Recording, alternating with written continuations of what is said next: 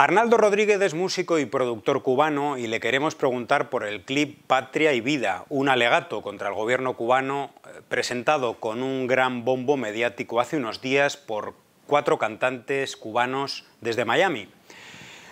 Tú publicabas en Facebook un texto llamado Patria es humanidad.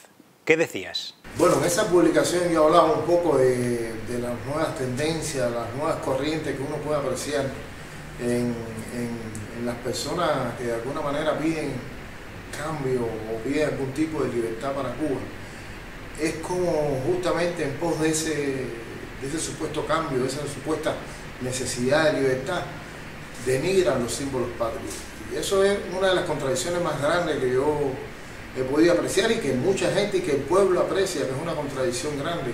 Como artista, como ciudadano, como cubano, es incomprensible que alguien eh, que pretende eh, lo mejor para tu país o que pide cambios positivos para tu país, lo haga denigrando la bandera cubana, enarbolando una, una bandera extranjera, eh, burlándose de los símbolos patrios. yo creo que eso es una contradicción grande, creo que, que además afortunada, digo afortunado porque es una manera de, que, de ver cómo se desnuda, de cómo son mentiras son posiciones realmente que, que debilitan ese tipo de discurso, que, o sea, la gente en Cuba hace como un chico que se despierta y dice, ¿cómo? Tú estás pidiendo lo mejor para mi país, denigrando los símbolos patrios, que nada tiene que ver con las ideologías. Realmente es algo bastante triste, bastante lamentable, pero yo creo que también es una especie de suerte para la gente darse cuenta quiénes son los verdaderos rostros que están detrás de eso y qué persiguen realmente para Cuba a músicos que de repente se volvieron activistas de la contrarrevolución, como Gente de Zona o de Stemer Bueno, ¿qué les pasó realmente? ¿Cuál, cuál es la razón verdadera de, esta actitud? Bueno, yo pudiera hablar de, lo que yo creo de, de, la música como compromiso social, lo que creo del intelectual en una sociedad y su compromiso con su gente, con su pueblo. Y, y yo siempre tengo como paradigma a la hora de, crear música a la música latinoamericana. Y la música latinoamericana en esencia es una música antiimperialista, es una música que defiende en esencia a los más pobres, a los más necesitados. Y, lo que pudiera decir es que al menos yo, yo pudiera pensar, eh, mi ideología pudiera ser cualquiera, de todas las ideologías, de todas las corrientes y todas las tendencias políticas que hay. Pero como dije también en una publicación en Facebook, yo lo que nunca me convertiría en un vil mercenario que a través de su obra, de su música, pues vende a su gente, vende a su país. Es lo que yo nunca como músico haría. Nos dicen los medios internacionales que en Cuba se coarta la libertad artística. Nos hablan de un tal movimiento San Isidro que es perseguido. ¿Qué nos puedes decir tú en tu calidad de artista? El tema de la creación en Cuba, de la creación artística y la supuesta falta de libertad es algo que yo nunca he entendido. Realmente he tratado incluso de comprender a algunos colegas artistas cuando han esgrimido ese tipo de conceptos. Pero yo en mi música, en mis canciones he dicho lo que he querido y he hecho muchísimas cosas, incluso a veces bastante fuertes desde el punto de vista conceptual. Yo recuerdo que hice la banda sonora la telenovela cubana aquella que se llamaba Aquí estamos, una telenovela que hablaba de la juventud cubana, que hablaba de las principales problemáticas que tiene la juventud cubana en la sociedad actual. Y hice canciones muy fuertes, hice canciones reflexivas, canciones que hablaban de las cosas buenas, pero que hablaban también de nuestras imperfecciones. Lo que pasa es que yo creo que en todo esto hay una confusión entre el deber y el derecho. Entre, como yo siempre digo, entre el deber y el, derecho, la ley y el gobierno, hay mucha confusión. Yo, eh, como creador, me siento libre yo creo que el día que en Cuba yo sienta que no puedo cantar o decir algo, realmente no estaré aquí. Ah, ese es el derecho que yo tengo de crear, la libertad que tengo de crear. No quiere decir necesariamente que todo el que ponga música o el que difunda videos o que eso tenga que poner lo que yo, y eso no es falta de libertad. Esa es, la misma problemática que sucede en cualquier país del mundo. A mí me ha pasado en Europa, me ha pasado en Canadá, me ha pasado en países que hago una canción y me ha dicho un director de una televisora extranjera, yo no puedo pasarte esta música. O sea, y eso no es falta de libertad. Yo hice la canción, yo tengo la libertad de crear, yo tengo la libertad de decir lo que quiero. Y he dicho, y además hay canciones mías que, han sido eh, parte de la banda sonora de mucha juventud en Cuba, que son canciones cuestionadoras también, que son, que son canciones que reflexionan eh, sobre diversos, te digo, problemas que hay y dificultades. Pero yo creo que lo más importante, más allá de, la, de la propia creación, de la propia libertad artística, es cuáles son realmente los fines que utilizan la gente que se esconde tras esos conceptos. Y creo que es ahí donde pierden la realidad. Yo tengo la libertad de crear como artista en Cuba. Yo lo que no puedo ir a una institución a armar un escándalo, una huella, porque ya no es una cuestión de libertad, es una cuestión de la ley. Y hay una confusión entre el deber y el derecho muy grande. El hecho de que yo tenga libertad de crear en Cuba, yo no quiero, no quiere decir que yo vaya a un ministerio. En ningún país del mundo a armar un escándalo porque me van a sacar. Y, no me van a sacar fuera de Cuba de la mejor manera, como a veces sucede Entonces yo creo que en todo esto hay mucha confusión, yo realmente respeto los criterios de la gente, pero yo como creador, y no solamente yo, muchísimos colegas del gremio, que nos unimos en los festivales en Cuba, que nos unimos a la hora de hacer canciones juntos, tenemos la libertad de crear, tenemos la libertad de hacer. Ah, quizás a no todo el mundo le guste lo que... Mis canciones no se ponen en Miami, si en Estados Unidos y si en Miami hay libertad, a mí me gustaría escuchar la última canción que yo hice a la campaña del CDR en alguna televisora de Miami.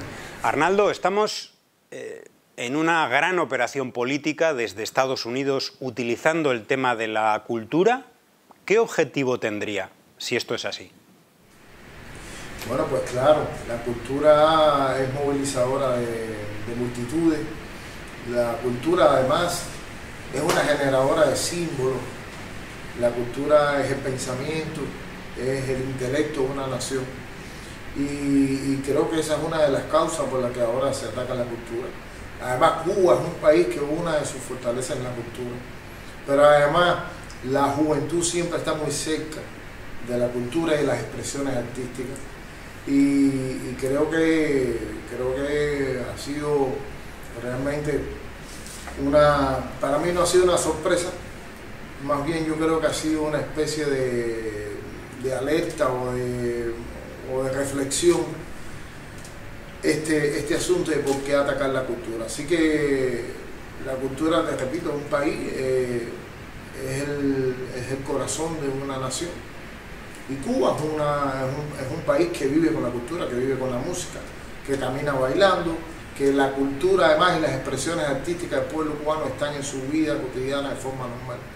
Y justamente por eso, por ser la cultura una generadora de símbolos, por ser además la cultura también es un elemento cuestionador. Y creo que eso, la, al menos la música cubana lo ha demostrado durante mucho tiempo.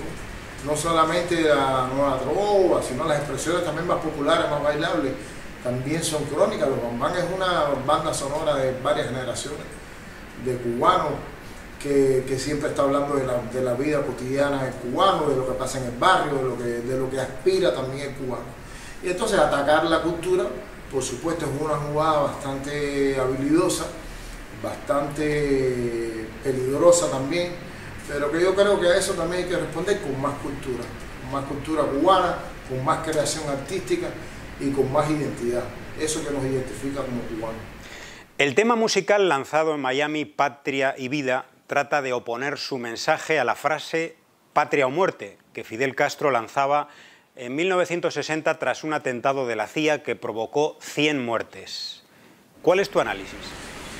Bueno, a mí lo primero que me gustaría decir es que eh, la frase patria o muerte, o socialismo o muerte, o patria, socialismo o muerte, da la opción de elegir, es, una, es algo electivo. O sea, no quiere decir que porque uno defienda esa consigna, está diciendo que va a morir. Uno está eligiendo morir si tiene que entregar la patria a un país extranjero, si tiene que de nuevo el, país regresar a un, capitalismo cruel, a un capitalismo que tenía este país sumiso, sumergido en la miseria, en el analfabetismo. Para mí la interpretación de, de esa frase es que como pueblo, como mayoría, era una opción morir antes de regresar a, ser un pueblo esclavo, a ser un pueblo abominado por, los poderes, por los ricos.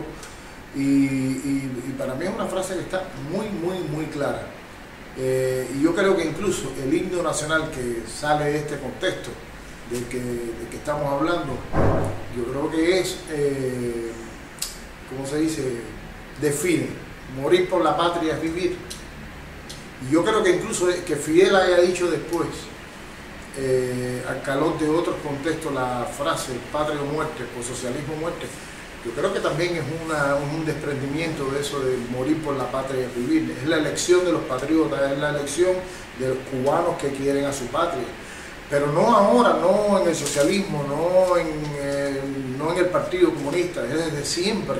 Desde siempre los cubanos y los patriotas cubanos, desde siempre, eligieron primero morir antes de entregar su patria. Siempre. Arnaldo, tú sufres eh, ataques, insultos desde Miami a quienes te amenazan, ¿qué les, ¿qué les puedes decir? Bueno, yo lo único que le puedo decir es a las personas que insultan, que lanzan improperios, que lanzan amenazas ante cuando escuchan un concepto diferente. Eh, yo lo único que, que les puedo sugerir, que les puedo pedir es respeto a la libertad. O sea, el respeto que se exige hay que profesarlo. El diálogo que se exige hay que profesarlo. No, no puede ser eh, yo pedir libertad y ofender a quien no está de acuerdo conmigo. Mi, música desde siempre, la música del talismán, que es una música, la mayoría de mis canciones son de los cubanos, son de la gente cubana. No es que se apague la lucecita, parece que Ciclón se fue, para adelante, tantas canciones que han tomado la gente, son canciones que siempre habla de, luz, habla de cosas positivas, habla de, de optimismo, porque es mi manera de ser y es lo que siempre me gusta transmitir en mis canciones. Pero a los que no sienten eso, a los que te ofenden, a los que te insultan por pensar diferente, solo le pido respeto al diálogo, respeto a la libertad. Me gustaría que nos contaras también eh, cuáles son tus proyectos musicales actuales.